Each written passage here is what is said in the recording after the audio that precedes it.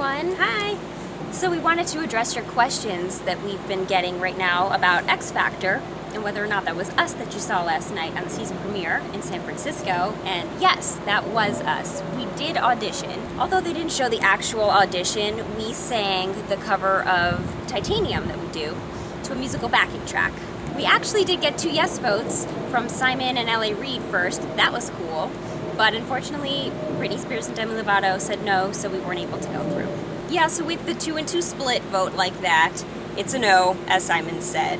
Overall, it was a really cool experience. We wish they could have aired our audition just so you guys could have seen it. Anyways, we just wanted to thank you for your messages and answer your questions. We love you guys. That's it. Bye. Bye.